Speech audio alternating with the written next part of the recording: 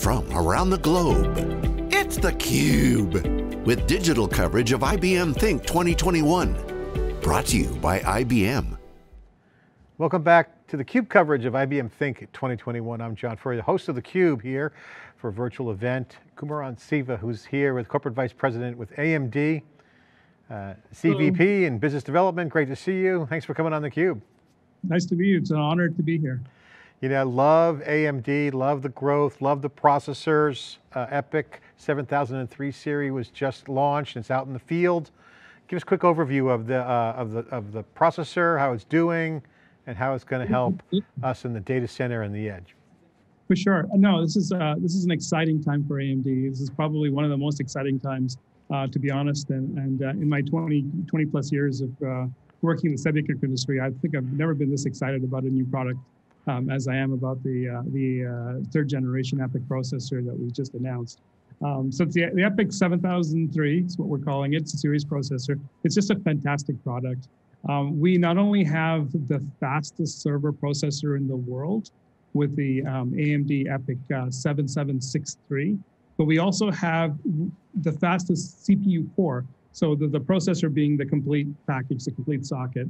And then we also have the fastest core in the world with the uh, the EPYC um, 72F3, F for frequency. So that one runs runs super fast on each core. And then we also have 64 cores in a in a CPU. So it's it's, it's addressing both kind of what we call scale up and scale out. So it's it overall overall just just an enormous enormous product line that that I think um, you know will be will be amazing within uh, within IBM IBM Cloud. Um, the processor itself includes 256 megabytes of L3 cache. Um, and you know, cache is super important for a variety of workloads. And the large cache size we have shown or we have seen scale in particular cloud applications, but but across the board, um, you know, database, uh, Java, whole sorts of things. This processor is also based on the Zen 3 core, which is basically 19% more instructions per cycle relative to our Zen 2. So that was the prior generation, the second generation EPYC cores, which are called Rome. Uh, so this, this new CPU is, is actually quite a bit more capable. It runs also at a higher frequency with both the 64 core and the, uh, the frequency optimized device. Um, and finally, we, we have um, what we call all-in features. So rather than kind of segment our product line and charge you for every little, you know, little thing you turn on or off, we actually have all-in features, which includes, you know, really importantly security, uh, which is, you know, becoming a big, big theme and, and, something that we're partnering with IBM very closely on. Um, and then also things like six, uh, 128 lanes of PCIe Gen 4, um, our RAM interfaces that go up to four terabytes. So you can do these big, large, uh, large um, in-memory databases. Uh, the PCIe interfaces gives you lots and lots of storage capability. So all in all, super product. Um, and we're super excited to be working with IBM on it. Well, let's get into some of the details on this impact because obviously it's not just one place where these processors are going to live. You're seeing a distributed surface area, core to edge, um, cloud and hybrid is now in play and it's pretty much standard, now multi-cloud on the horizon. Companies are going to start realizing, okay, I got to put this to work and I want to get more insights out of the data and there's a zillion applications that are evolving on this. Uh, but you guys have seen some growth in the cloud with the, with the EPYC processors. What can customers expect and why are cloud providers choosing EPYC processors?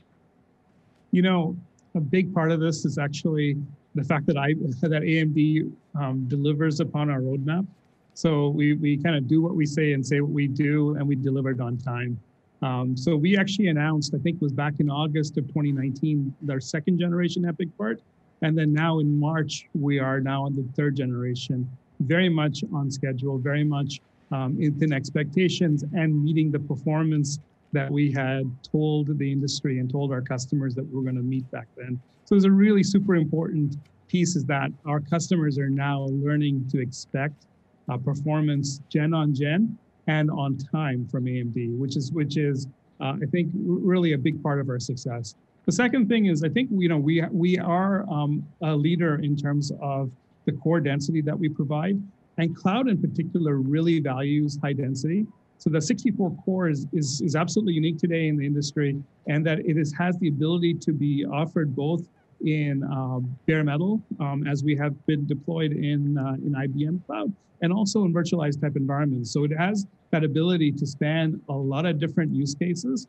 Um, and you can, you know, you can run each core uh, really fast, but then also have the scale out and then be able to take advantage of all 64 cores. Each core has two threads, so up to 128 threads per socket. It's a super powerful uh, uh, CPU, and, and it has a lot of value for um, for, for, the um, for the cloud cloud provider.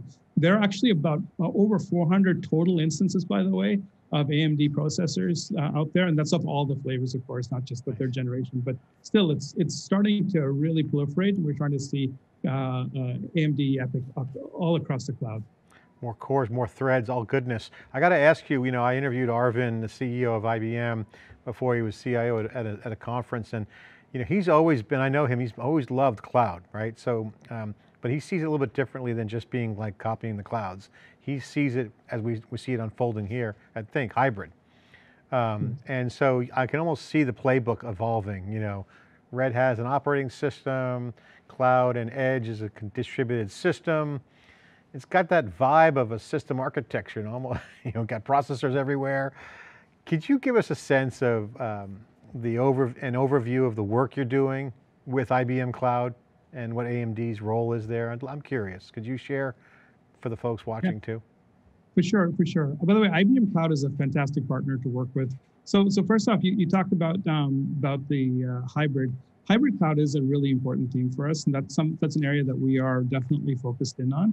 Uh, but in terms of our specific joint partnerships, and we, we did an announcement last year um, so it's, it's, it's somewhat public, but we're working together on AI, where IBM is a is an undisputed leader with Watson and some of the technologies that you guys bring there. So we're bringing together, you know, it's kind of this real hardware goodness with IBM's prowess and know-how on the AI side.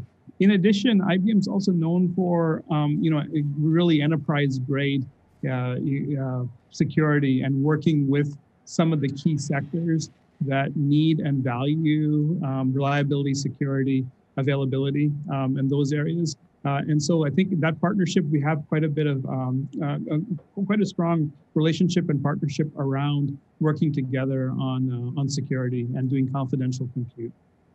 Tell us more about the confidential computing. Uh, this is a joint development agreement. Is it a joint venture or joint development agreement? Take, give us more detail on this. Tell us more about this uh, sure. announcement with uh, IBM Cloud and AMD confidential computing. So that's right. So, so what, uh, you know, there's some key pillars to this.